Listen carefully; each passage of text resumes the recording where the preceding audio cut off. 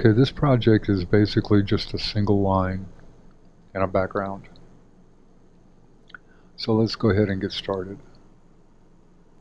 I'm going to go down here and select the line tool and hold down the shift key and just draw out a line.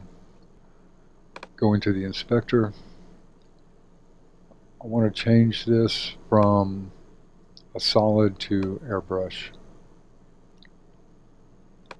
I'm going to select the adjust item tool and zoom in here a little bit so you can see what's going on.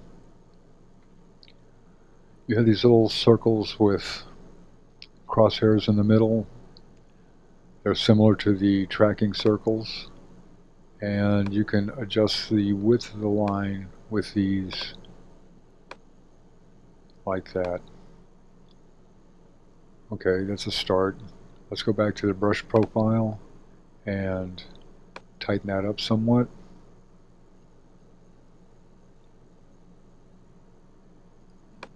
And let's take the spacing down all the way to make that smooth.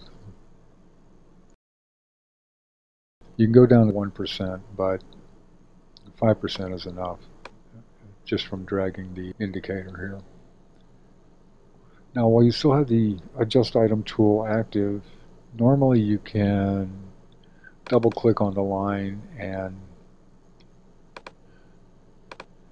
add width points but sometimes motion gets stuck. So the best thing to do basically is to go into stroke dial down the width over stroke and double click on the line in here and add new points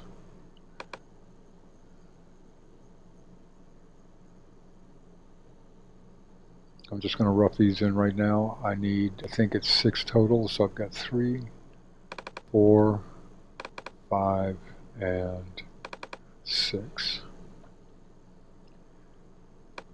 Go back to the adjust item tool and I can adjust these in the canvas. So this will be the pin part. I can drag this left or right and it's always going to be left or right even if this is a vertical line. Go figure.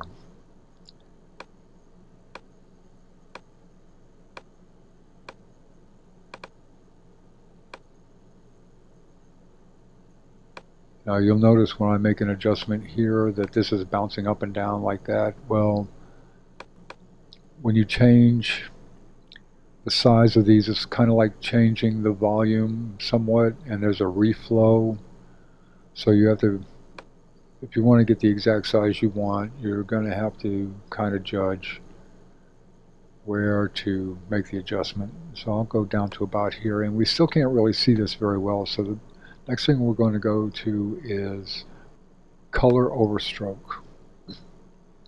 And now you can see this is starting to take shape. I'm going to start with a kind of a gray for the pin metallic and I'm going to change the interpolation to constant. And I'm going to pull this color down and change its interpolation to constant.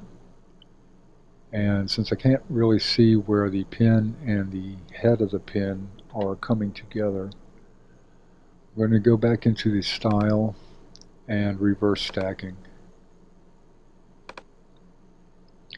That way I can see where the pin and the bottom part of this section meet. Back and back. Let's change this to a red. And I'm going to add slight differences in shading here.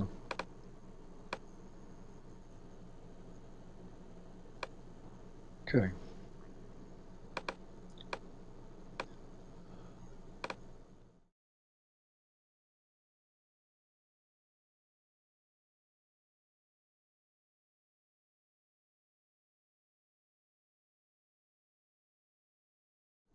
All right. Uh, you can always go into the width over stroke and manipulate these keyframe like items here for more precision.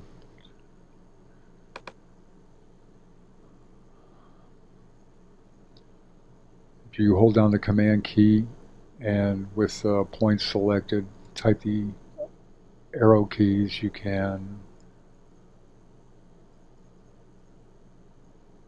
position these somewhat.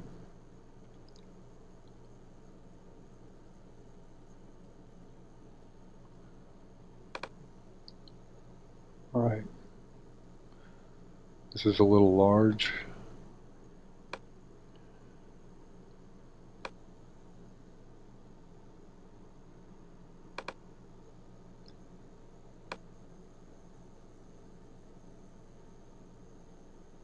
I can use the edit points tool to position this around.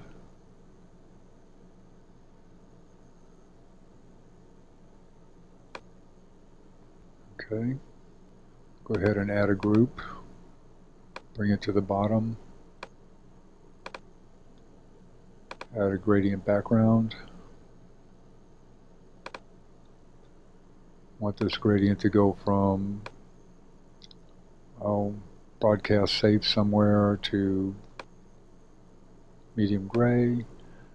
Select the adjust item tool and smooth out the gradient somewhat. I'm having a little bit of a angular pitch here in the light.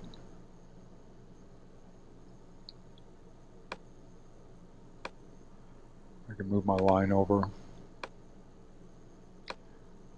Actually helps to be able to grab it.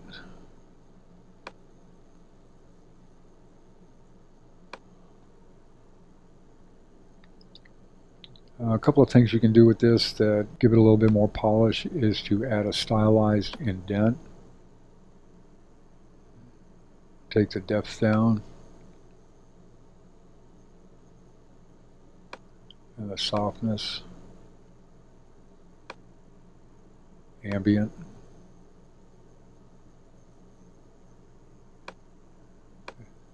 Add a little brightness. And a vignette stylize vignette.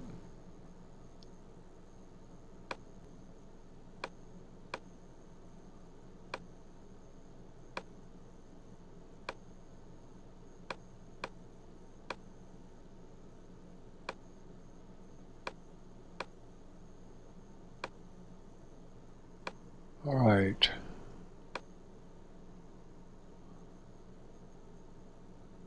Add a little shadow.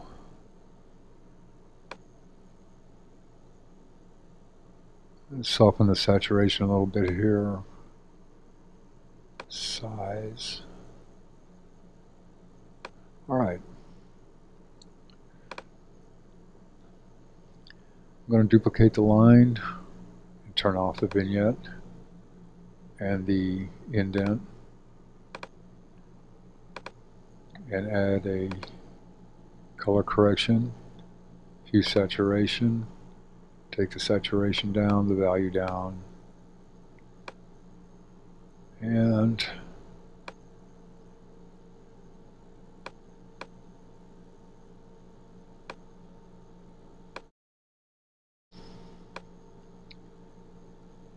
I think what I want to do with this is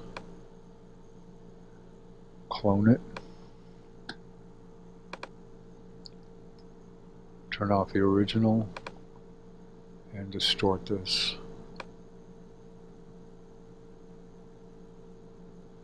And add a blur, variable blur,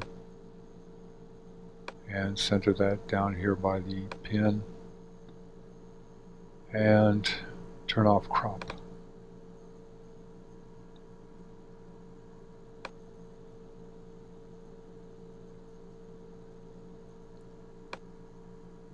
And it doesn't need to be that dark, so I'll just turn down the opacity. And some variation of that. Hope you found this useful, and I'll catch you on the next one.